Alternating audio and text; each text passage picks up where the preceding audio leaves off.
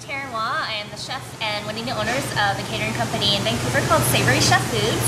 And we're at our um, production kitchen in the pastry area today. And today I am going to make congee.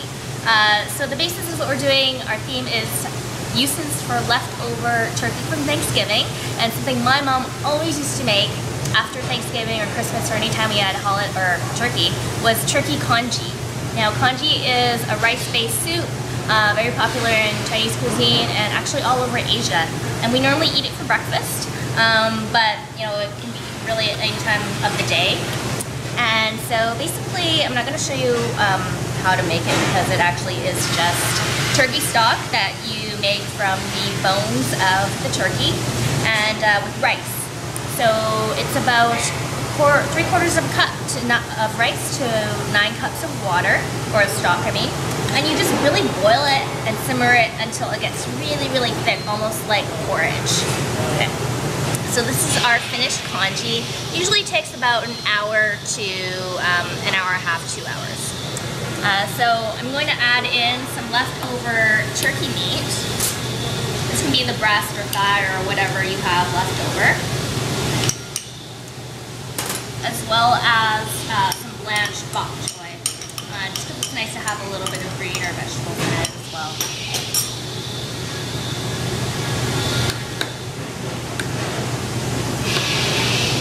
Okay, so we're just gonna let this heat up and come to the simmer. Uh, you can cook the vegetables right in here, but just uh, to make it a little bit quicker, I've blanched it ahead of time. Okay, so while that's heating, I'm just gonna talk about a couple of the garnishes that I have. Um, to put on it. I've made some homemade chili garlic oil, which is super simple. You just take vegetable oil or canola oil and uh, heat it up, put in some chopped garlic, let that start cooking until it becomes quite fragrant. And then just before it looks like it's gonna start to brown, you throw in some chili flakes and you get that, let that get nice and toasty and there's your homemade chili garlic oil.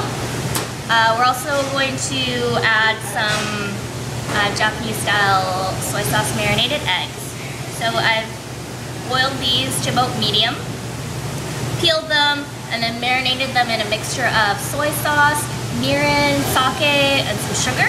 Let that sit overnight. And I actually like to keep, you know, five or six of these uh, in my fridge at the beginning of the week and I'll just eat them as a really quick snack, maybe with some rice.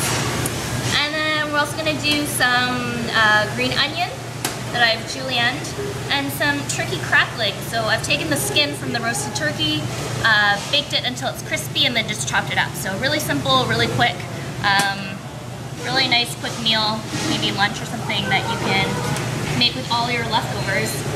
And after your big Thanksgiving meal, it's kind of a little bit lighter, a little bit healthier. Um, we often eat congee when we're sick. So kind of looked at as a healing food. Okay, so I'm gonna take this egg and cut it up. You see it's nice and gooey and gooey. Little green onion. Have our turkey crackling, which is really my favorite part. And then just a little bit of that chili oil, depending on how spicy you like it. There's my turkey congee.